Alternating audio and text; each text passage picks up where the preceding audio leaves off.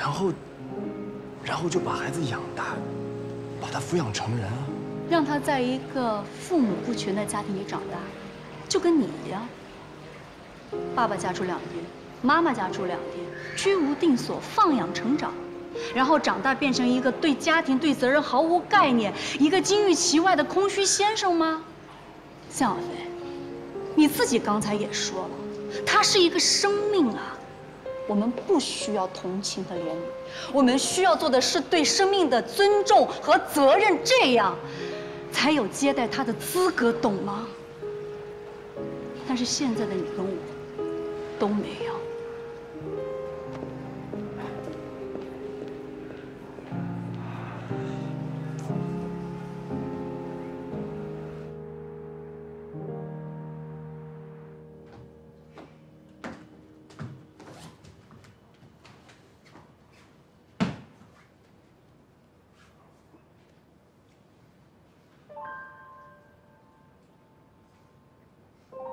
妈妈特制的泡菜，我最喜欢吃了。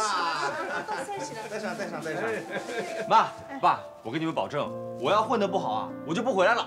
不管混得好不好，都要回家看二老。我肯定混得好。早点回来啊，早点回来。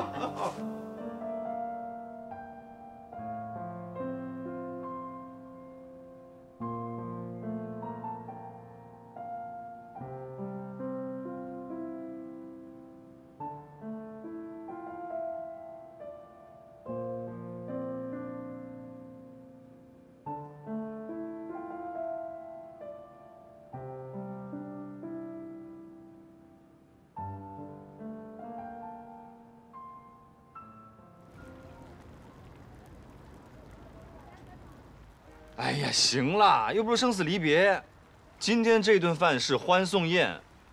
哎，你们别把气氛搞得这么悲伤，行不行啊？你们，现在交通这么方便，我会经常回来看你们的。啊？我们三个人不在你身边啊，自己长点心。你们仨不在我身边了，倩倩在我身边啊，我长什么心啊？不需要。哎呀，吃吧，吃吧，吃吧。杰森，以后你来我们接，你走我们送。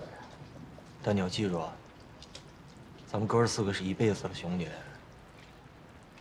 这儿永远是你的家。嗯，反正这路程啊，也就两三个小时，常回来看看吧。好，肯定的。你知不知道你现在笑比哭还难看啊？啊？不舍得就说呗。我当然舍不得你们了。我在上海待了十几年，我天天跟你们在一起，这也是我最开心的时候。这一走，好像什么都没了。记得大学咱们刚毕业那会儿啊，郭老二在学校里边当助教，小飞呢，商场里边当销售。那时候你找不到工作，就今儿吃这家的泡面，明儿喝那家的牛奶，就这么把你养活过来。他哲学学傻了呗。哎呀，其实那会儿我就我就有想回老家的打算了。我就觉得吧，我跟不上上海的节奏。但是有你们帮助我啊，我怎么舍得走啊？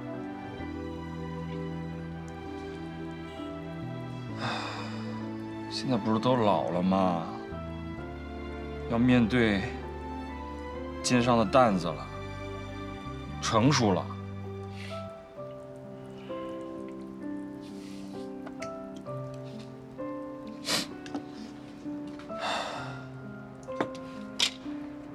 哎呀，行了行了行了行了，不说这个了，反正我是要走的啊。那个，你们有什么要嘱咐的，就说吧，我都准备好了。洗耳恭听。你呀、就真的一步一个脚印，踏踏实实的把未来的生活过好就行了。嗯郭老二啊，我觉得自从你放飞自我以后，说话越来越有道理了啊！来，走一个。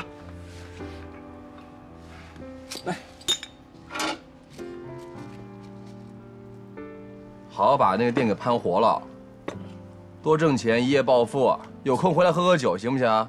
遵命，而且我一定让你分红，好不好？来，咱们哥四个这么十多年一路走过来，一步一步的，我们穷过，苦过，但是我们从来没有怂过。不管在哪儿，必须要做你自己。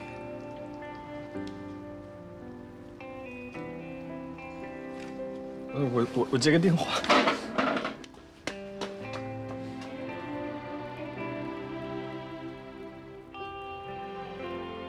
今天发生的事，感觉感觉跟做梦一样。哥几个在一起十多年，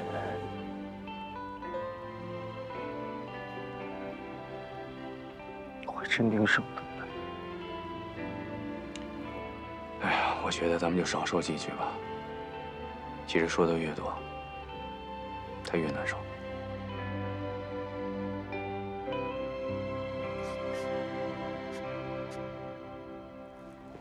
妹妹，你这吉他借我用一下。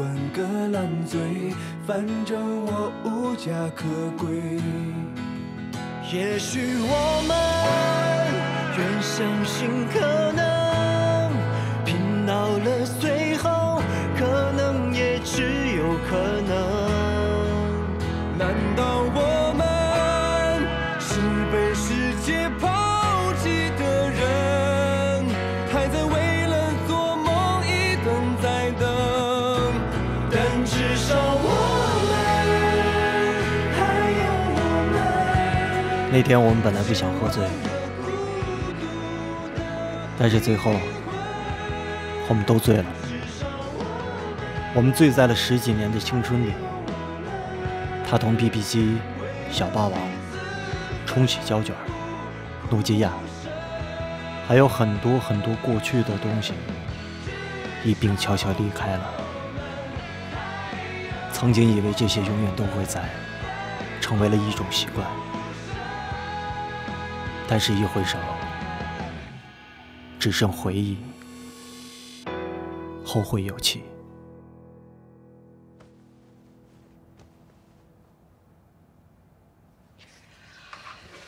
哎，你别这样了，你之前去童宇那儿，我也没这样啊。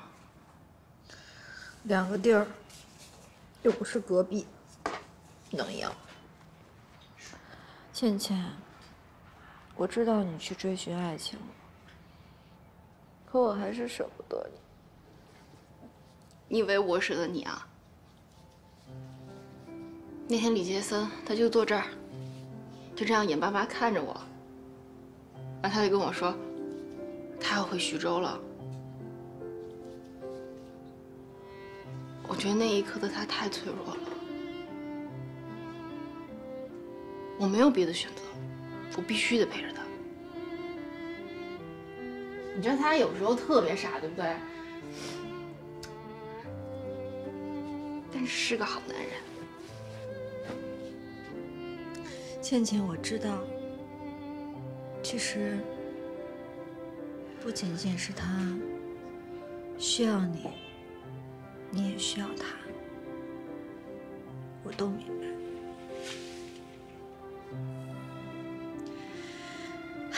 但是你忽然之间走了，我心里就是很难受。你说我们俩从小到大分开过几次啊？你自己一个人可以的，你明白吗？再说，现在已经有那么好的一个人可以照顾你了，我很放心的。可是你去那么远的地儿，我不太放心你。你好好照顾自己，倩倩。就你最烦，天天惹我哭。以后没有人让你哭了。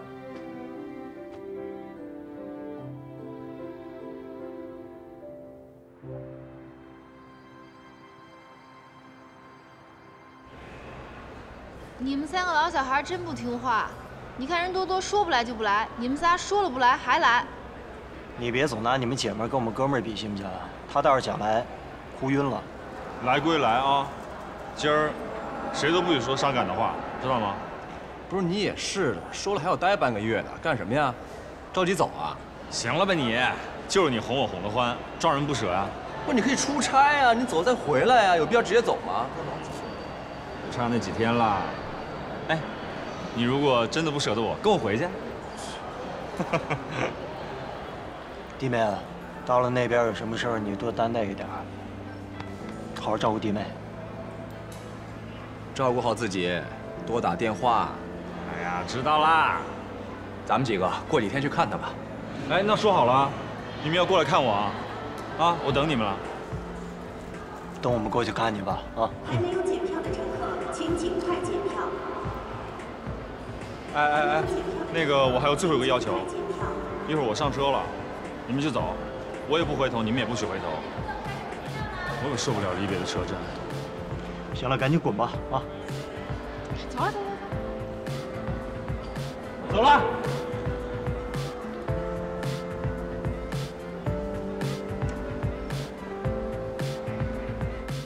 我的心情如同这列车，我想多停靠几分钟，却已响起钟声，只能远行。我知道，从我离开的这一刻，上海的李杰森已经不存在了。他和他的十多年，就像一场风吹过，什么也没剩下。我并非眷恋这座城市，而是想念这座城市里的人。我生命中什么都可以缺少。可以没钱、没背景、没出息，但只要有他们在，我就是那个完整的我。我们一路一起走过，但到此只能为止了。兄弟们，对不起，杰森撤了，再见。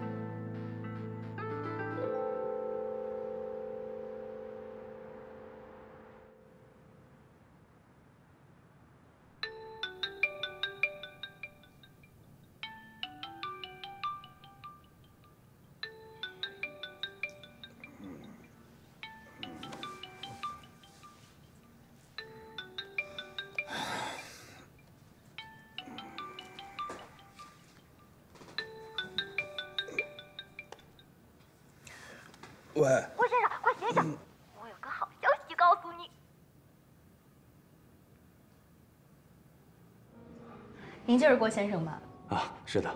我是您的编辑 Nancy。小杨。哦，您就是 Nancy 姐姐啊！终于见面了。呃，这位是？这是艾米，就是她把我的作品放到你们阅读网上的，而且平时在网上跟您对接的郭先生，其实就是这位郭先生。哦，您的助手是吧？贤内助，果然是才子佳人啊！像您二位这样的夫妻档啊，在我们这儿也不少，琴瑟和鸣，舒服的很。今天请你们来呢，是想谈一下签约的事情。这份合同啊，是全职合同。我们阅读集团呢，想要响应政府的文化发展大计，提升网络文学的水准。而您写的这个郭先生的历史呢，是这个月在我们网站最火爆的历史类书籍。我们想邀请您入驻我们网站。这个稿酬和奖金呢，您一个月的收入啊，按照现在的点击量换算呢，就能达到五万元以上。如果你们完稿了以后，我们会联系好出版社。如果你们的作品呢能够成功的 IP 化，它的商业价值，您应该是知道的。不好意思啊，呃，其实我现在是一名大学老师，而且我也是头一次接触这种东西。您说的，如果想我全职做这个的话，其实我觉得并不是太适合我。我写书的初衷，也是为了想教好学生。郭先生，呃，叫您郭老师吧。我觉得教书育人呢，的确是人间最有意义的事情。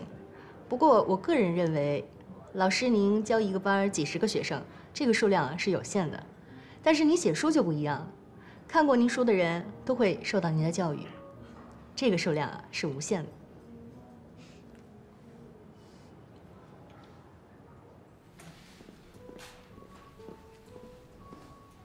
刚刚啊，我觉得有一句话戳中了你的心。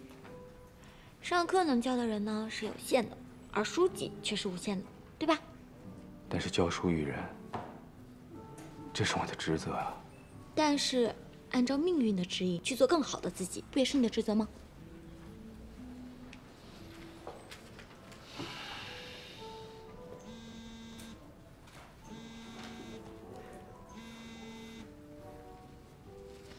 喂，姐。啊？什么快递这么重要？还非得我亲自守着？行吧，行吧，我知道了，拜拜。那个，要不你陪我回趟家吧，我去取个快递，然后我们再找个地方好好商量商量。嗯，好吧。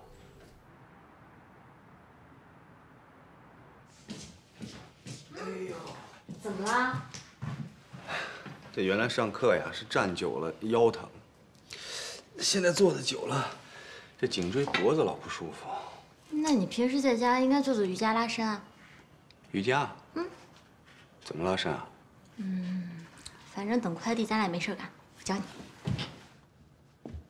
现在啊？嗯，包一个。哦。膝盖和你的肩同宽。哇。吐气，吸气，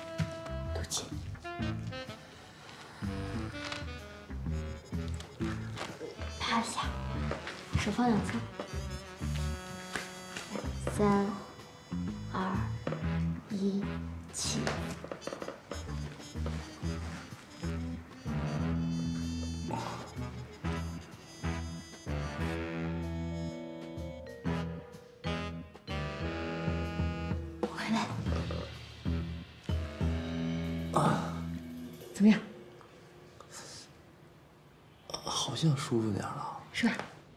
我们来休息一下。哦。把你的呼吸调均匀。嗯。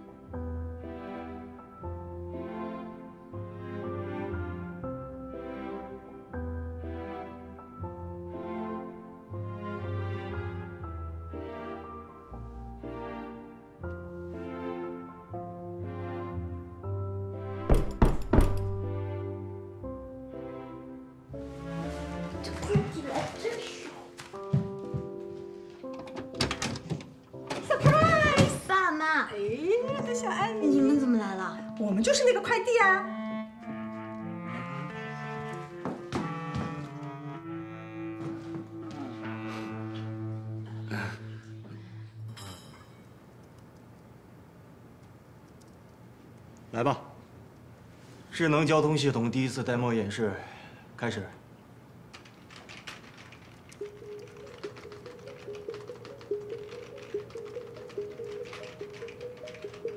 老大，按照您制定的计划，现在眼前所看到的一切就是现实交通的一个缩影。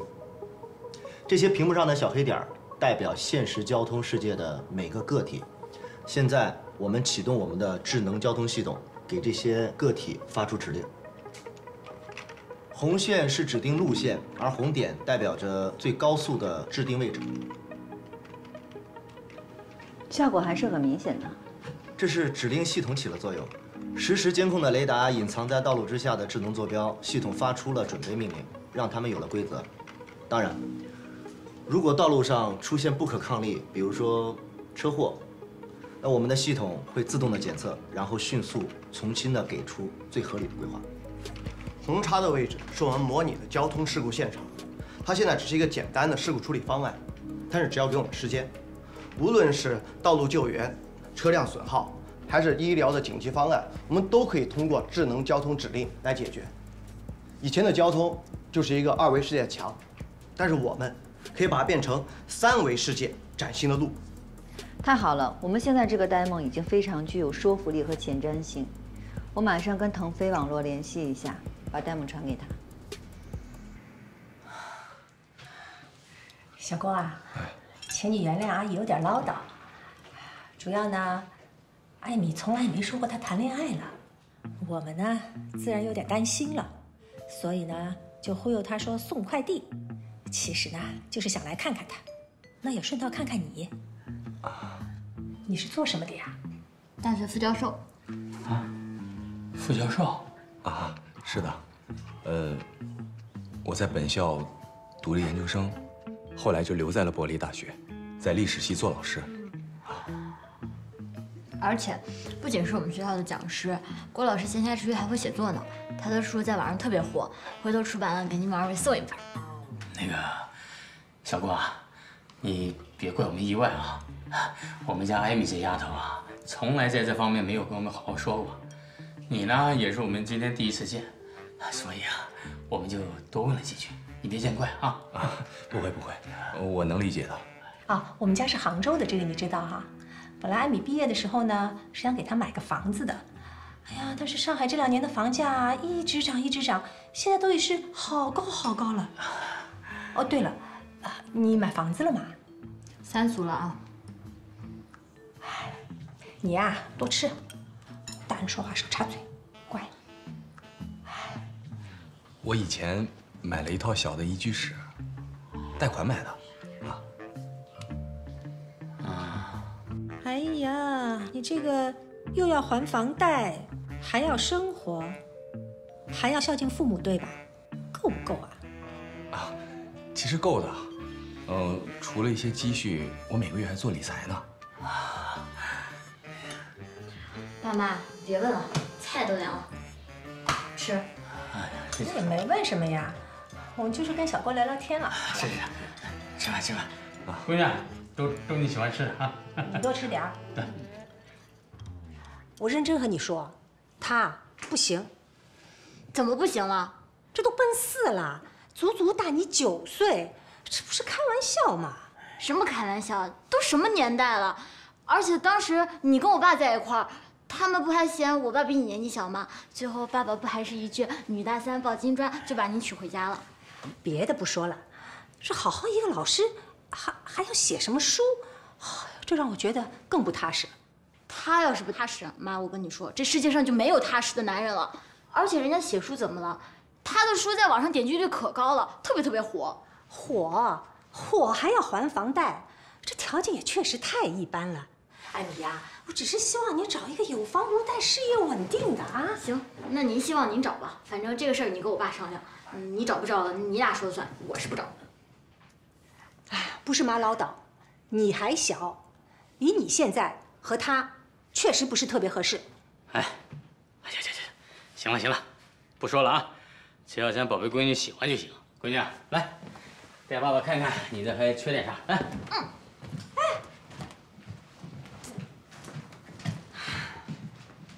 三十九天，十二星辰成立一个月，你给了我一个奇迹。我会把这个 demo 上集团内部高层会，争取更多的资源支持和推广。可是这么快就要上会吗？你现在改变的是整个交通体系，这是一个极其宏大的设定，甚至可以说是一个划时代的革命。这需要各大公司、交通部门，甚至政府的资源去支持你下一步的推进。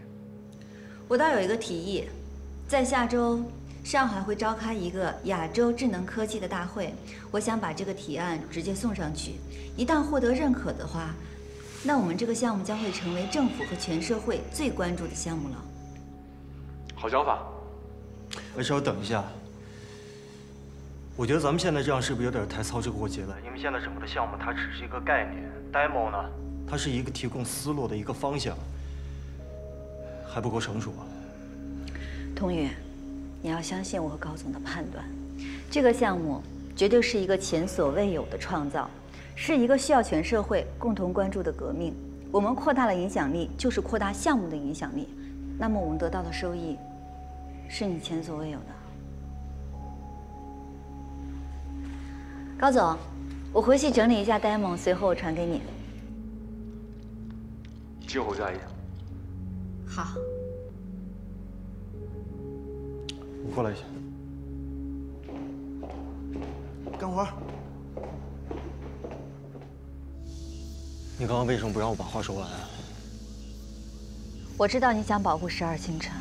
但是这次机会对于我们来说太重要了，不是太重要，你不能拿一个 demo 就上会，这不开玩笑吗？童宇，现在我们是公司化的运营，不是科学实验室，我们不能一切从项目出发。不是，我知道它不是科学实验室，但是我不想像其他公司一样拿一个想法就出来博人眼球，你懂吗？这怎么能是博人眼球呢？我们得到认可，我们才有更多的资金进入啦。眼里只有钱是吗？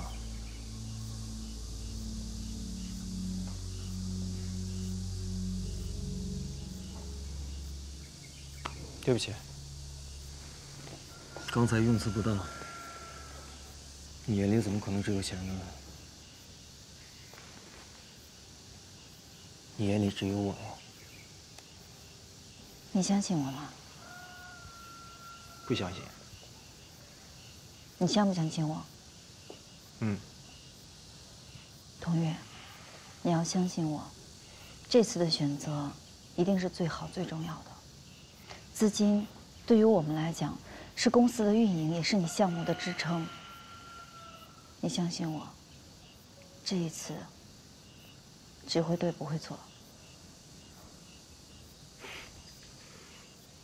我不相信，你相信谁啊？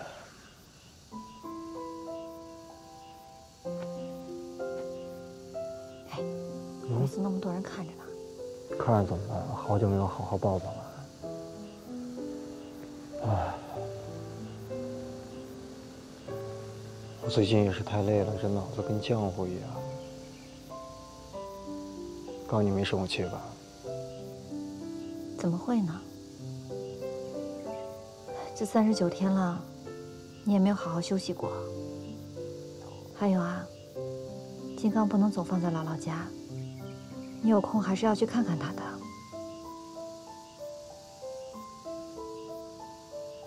你报够了没有？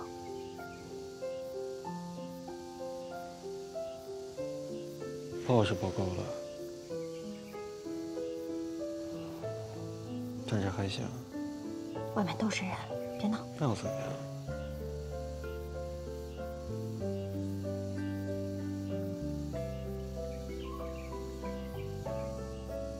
电影充满，继续工作。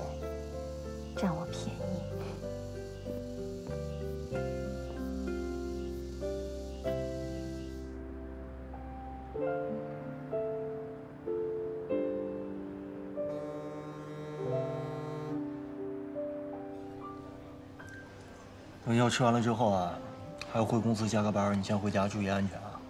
没有你我睡得着吗？等下一起回去。你陪我加班啊？嗯。吃点。童宇，Lisa，好巧啊。是挺巧啊。好久不见，二位。可好啊？还可以。我也听说了，你们的十二星辰获得了腾飞的投资，恭喜！您千万别恭喜我们，这我们受不起。为了不让你踩死我，我必须要更加努力。哎呦，你看你这玩笑开的，咱们都得努力啊！改天请你们吃饭。先走了。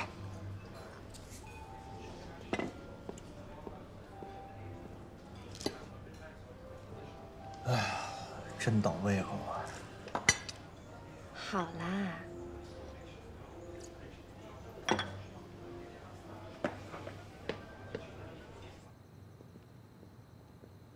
是不是都没吃饱啊？饱了。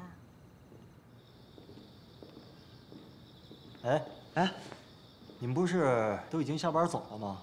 啊，我这不是有一个子程序要调整一下吗？哎呦，我就不在这儿当电灯泡了，我先忙啊。加油！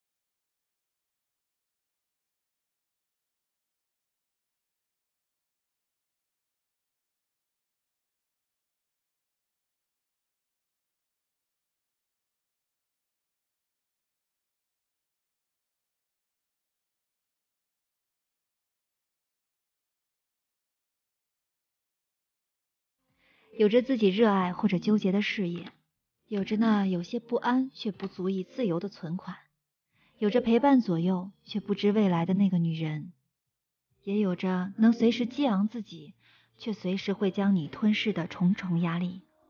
但无论如何，他们为了爱，为了心中的梦想，他们一定会燃烧自己，全力以赴，永不停息。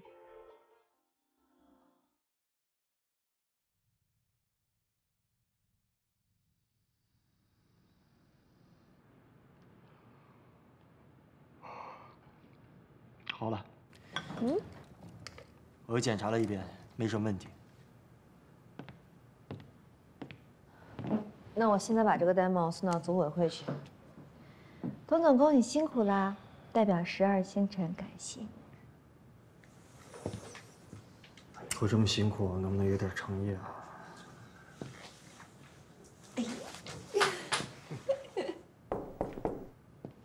童总、徐总，外面有位先生找您二位，说是您二位的朋友。去看看。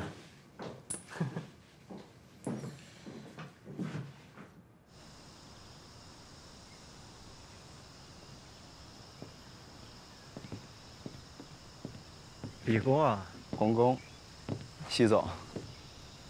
哎，不对，现在应该叫童总了。好久不见。你真是稀客呀！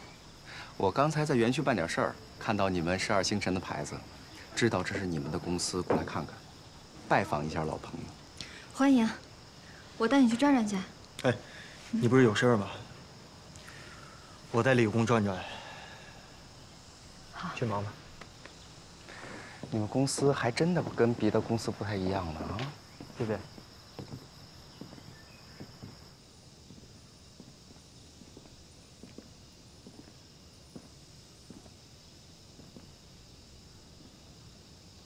我也去过这么多科技公司了，讲真啊，你这儿的运营的理念，确实让我刮目相看。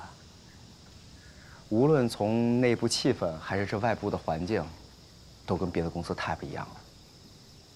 本来 我就是来八卦的，没想到收获的可不只是八卦呀。童工，祝愿你越来越好。我真心的希望咱们大家都越来越好。以后没事啊，经常过来坐坐，啊。你不嫌弃我就来。我嫌弃你什么呀？你要是哪天离职了，我还非常欢迎你加入呢。那我得考虑考虑。这是我们项目的 demo，你收好。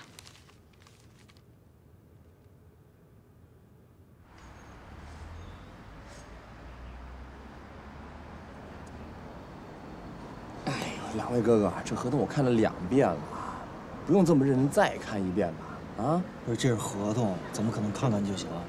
哎，你看啊，你这个十家分店的要求在合同里边是一个硬性指标啊。嗯，我觉得不太合适。确实不太合适。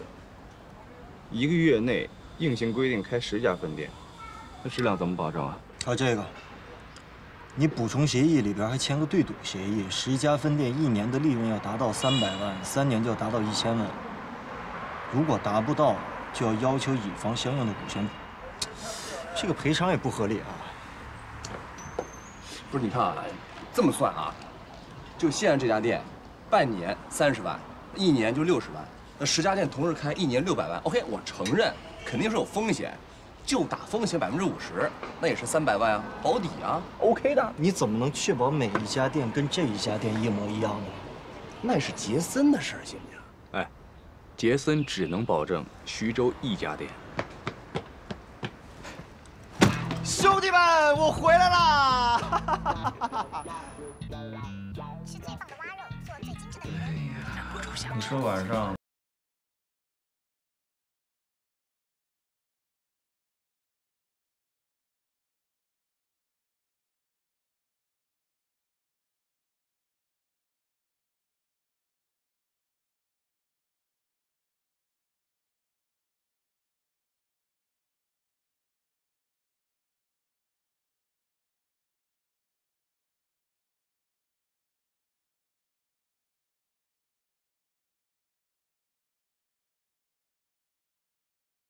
其实我就是回来参加比赛来的，怎么着？失望了啊？是不是想我想的热泪盈眶？差不多散了。嗯，我也是，我都困了，有点累了。哎呀呀呀呀呀！我这刚来呢，开玩笑的。不是你还小我呀？你们还有没有人性啊？我这谁叫你回来不提前跟我们说一声啊？我告诉你们，我这次回来有一件非常重要的事情，这个比赛可不容小视啊！冠军是二十万。哎呦，哎，万一你要比赛一日游，什么军都没有，还搭两张火车票，啊不四张。你闭上你的乌鸦嘴吧！人家同事都说了，Never give up，give up，懂不懂？哎，坐下来，坐下来，还有事儿跟你们商量。来来，快快快！什么事儿啊？你还知道有正事儿啊？哎，徐州那边的分店怎么样了？你放心吧，分公司注册的情况都在稳步进行中。但是我想跟你们说的不是这事儿。哎呀，我就是觉得吧，我最近的状态特别不好。自从我回了徐州老家，每天无所事事，我以前的激情斗志全部都消磨没了。所以我回来呢，除了是要赢奖金，我还想调整调整自己的状态。哎，明儿比赛时间中午一点，你们仨来不来啊？啊？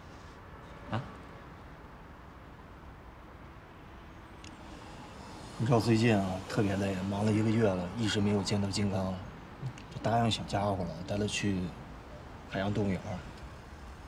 啊？艾米的父母啊，明天要来，他们想要在这边逛一逛，你说我是不是得陪着吧？我跟吴总约了去嘉兴看分店的事儿。这你们仨这，那不来就不来吧，免得我比赛看到你们仨我还紧张呢。哎，你比赛什么时候结束？一个小时，两点就结束了。哎，那行，这么早，咱结束了这个剧呗。好啊喝点。哎，行好，OK，我撤了，撤了，撤了。拜拜。哎，我还有话跟你们说，今天晚上明天连剧啊，别喝边说，这么快就走了？我这刚回来，你们边喝边说，哎呀，这哥仨什么情况？哎，走就走，正好明儿比赛，我临阵磨枪练习练习。哎。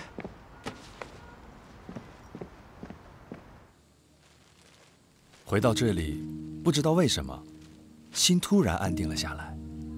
这个月的浮躁、无聊、纠结似乎全部消失，而我心里有一种力量，呼之欲出，让我的每个细胞都活泼了起来。这是我最熟悉的那种感觉。我李杰森回来了。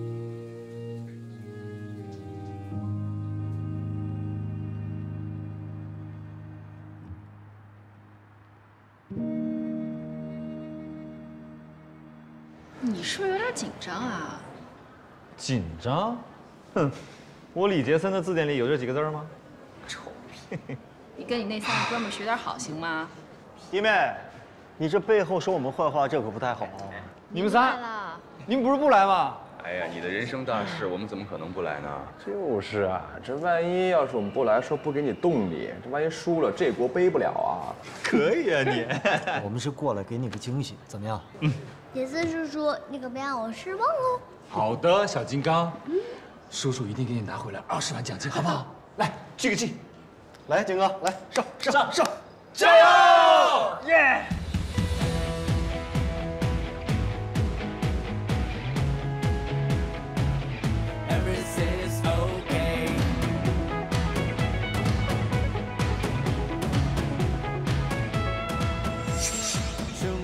们的六十六号选手好像出现了事故，哦，请抓紧时间。